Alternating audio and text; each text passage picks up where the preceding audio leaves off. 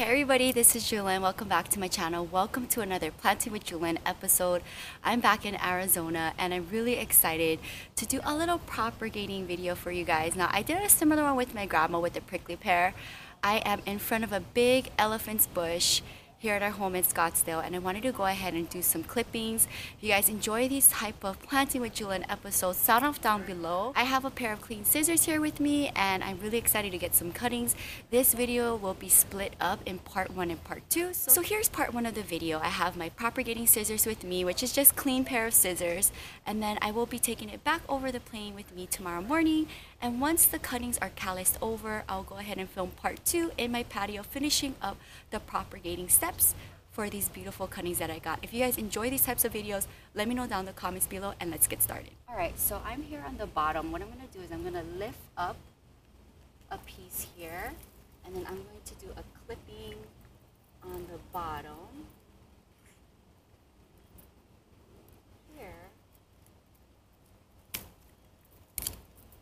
So here's a nice one right here. So I just pulled it up and I went really low to get a clipping where I could get multiple branches here. I'm gonna do the same thing again, lifting up.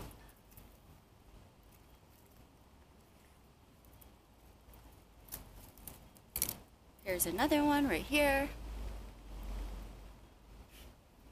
Let's get a few more. Here's a really nice one right here. I'm gonna just pull here and cut right at the bottom. And then we have a big, beautiful cutting right here, which is like longer than my arm. So here's another good one. So I'm just pulling it and then getting to the bottom of it and getting a nice clipping here. So that's another good one. I'll do the same thing here. Clipping all the way at the bottom.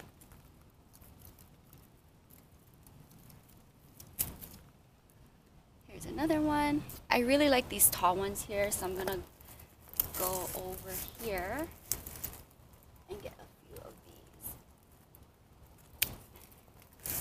these. So here's one cutting right here. Here's another one right here.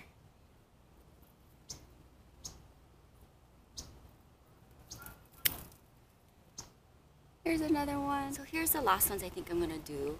I think I'm gonna this guy here.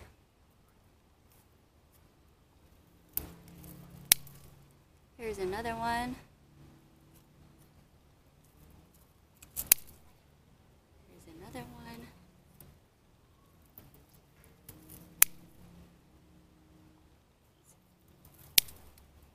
All right, welcome to part two propagating elephant's bush. So I'm back home in Santa Monica. I did the cuttings about three days ago from the mother plant in Scottsdale, Arizona. My grandma was kind enough to pack them really good in my carry-on. It's been callousing over in my patio as of yesterday. I have all of the cuttings here in my potting tray ready to go. Once you get your cuttings from your mother plant, yes, you can go ahead and wait for the ends to callus over before putting it into dirt. But there's a lot of people out there that stick them directly into dirt right after cutting it from the mother plant. So it's your preference what you want to do if you want to wait for it to callus over or stick them directly into dirt. I already have mine callus over and we're to propagate both by water and by dirt. I like both techniques and we're to do both today. I have my potting tray right in front of me set up and ready to go. If you guys are interested in my potting tray, I have my link in the description bar below. Go ahead and check it out. I absolutely love it to film. Now I have everything set up here and I'm gonna go ahead and look at each cutting one at a time. All of my cuttings will go into my greenhouse with the rest of my cuttings and propagation and rescue plants and I'll live there until they root up and I am ready to give them out as plant friend gifts for the holidays and I will be selling a bunch. If you guys are interested in any of the plants I'm selling, you can always reach out to me in a direct message on Instagram at Planting with Jewelyn. So let's go ahead and get started. As you can see, all of my cuttings are here. I have some empty plastic nursery planters, four glasses filled with water, and we're going to do both here. I have have my succulent cactus soil mix in my silver bin with two shovels and I'm gonna look at each single cutting and decide which ones I'm gonna put into water and which ones I'm gonna put into dirt. Now the thing with elephant's bush and just succulents in general is you have to peel off the ends to expose the stem here so that it can grow roots. So I'm just taking the bottoms off. Once I take off a few petals from the bottom to expose the stem, I'm gonna pick and choose what I'm gonna place into water and what I'm gonna do into dirt. So I think for now, I'm just gonna place all of the tall one stem guys into water and I'll just make sure that I level out the water so that the leaves are not in the water. So something like this, I'll peel the bottoms off like this. I'll do one more here. And I think this is gonna be good. So I have about this much here. Let's stick this into water. Here's a good one right here.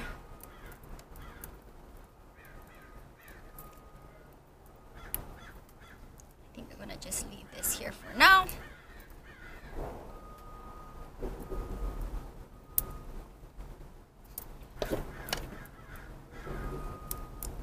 This one might be a good one to put straight into dirt.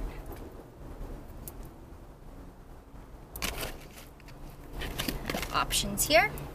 We'll see. I got some variety of cuttings. Now look at this guy. There's like multiple branches from him. So let's see here. Take this off here. Probably can save that one and make a cutting keep that. Okay, I think I'll leave this here.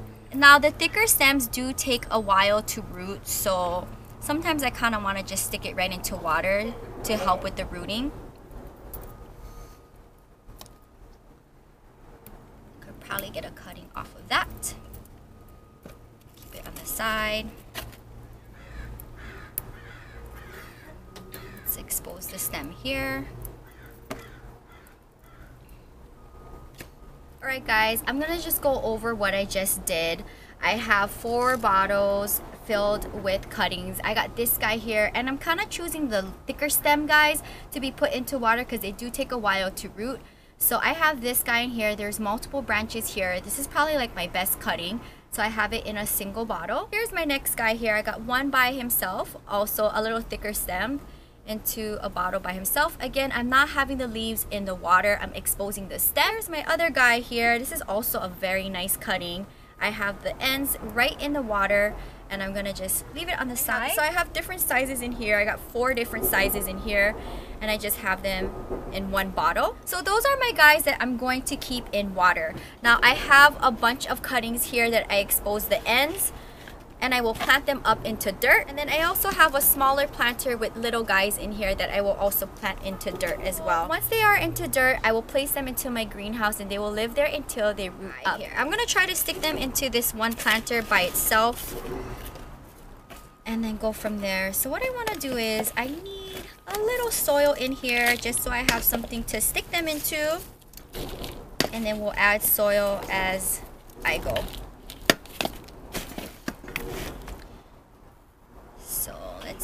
here.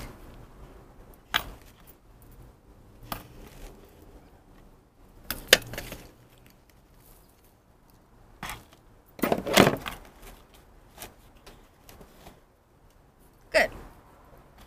So as you can see here, I have the end right into dirt.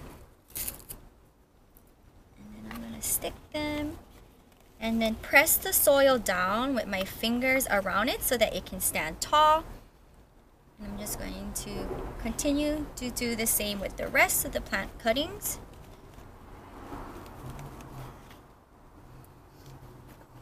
Let's see if I can fit them all in this one planter.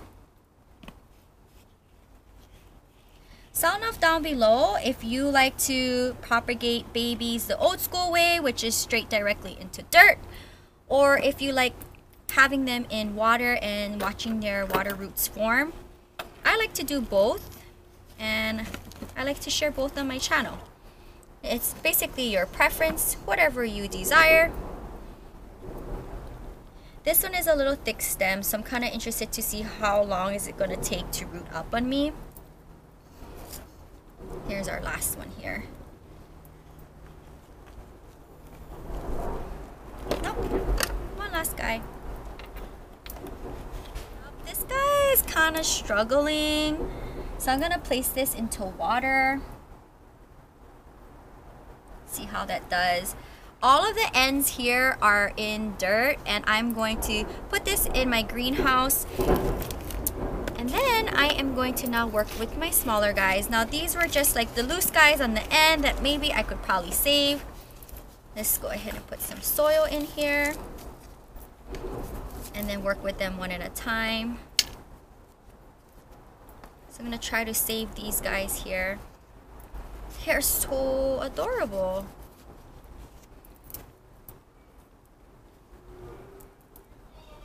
Do this. One like that. And then let's see, maybe a shorter guy here. All right. So we're quick. They're so cute.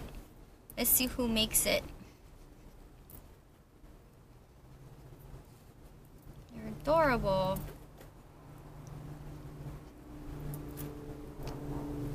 Can't wait to have this in the greenhouse with the rest of my plant babies.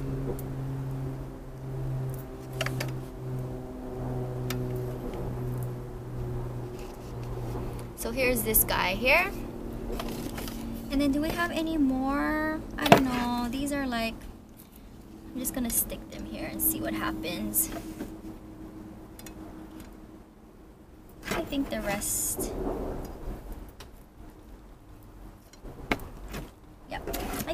guys.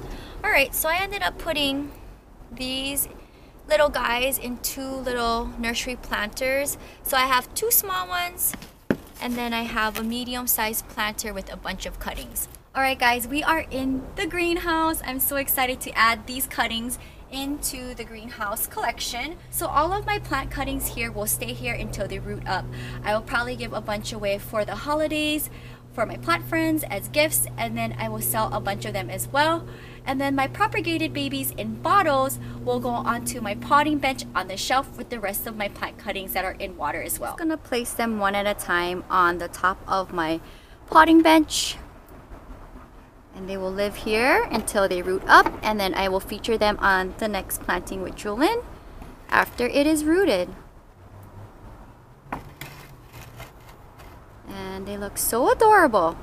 So that is going to wrap up today's video. The soil is slightly moist. I'm just not going to do anything to it for a while and I'll check on it in a couple of weeks. Again, when I come into the greenhouse to spray my babies, I'll check it now and then to see if it's struggling, but I'll definitely keep you guys posted on when they root up. I hope this inspires you to maybe propagate from your mother plant if you have succulents. I will go ahead and do a separate video propagating from my jade mother tree because I can see it from here and it is like producing blooms and about to bloom out into beautiful white blooms and the whole tree blooms out and this will be the second time I see it bloom on me. But so that will be a whole separate video, so stay tuned. If you guys enjoyed this type of video, let me know down in the comments below. Yeah, I thought that was really cool to start in Scottsdale, Arizona and bring my cuttings back to Santa Monica, California and show you guys the step-by-step -step process on how I make more babies. If you guys want to see more and you're new, welcome to my channel. Hit the bell to be notified whenever I do an upload. Subscribe to my channel. You can find more on my blog at ilovejewelyn.blogspot.com. Until next time, aloha from Santa Monica, California. Bye!